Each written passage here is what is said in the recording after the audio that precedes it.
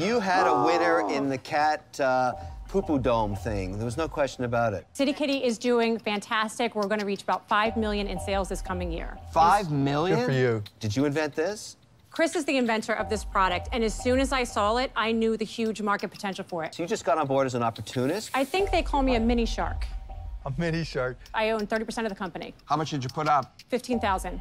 So, Rebecca, you have a knack for crazy looking stuff. Yes. But you were right last time. I gotta tell you, when you came out here, I thought it was the most ridiculous thing I'd ever seen, and you proved us all wrong.